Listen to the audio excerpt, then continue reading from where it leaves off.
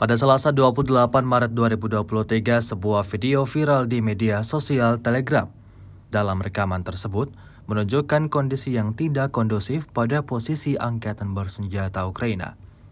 Wilayah kekuasaan anggota militer Volodymyr Zelensky di Avdiivka diserang habis-habisan oleh serangan artileri yang dilayangkan militer Rusia. Dengan bantuan senjata Grad dan San secara bersamaan, pasukan Rusia ciptakan neraka pada posisi target – seperti yang tampak dalam rekaman.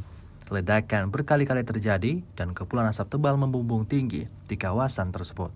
Pasukan Rusia meyakini tak ada yang tersisa di sana, baik itu peralatan maupun personel militer angkatan bersenjata Ukraina.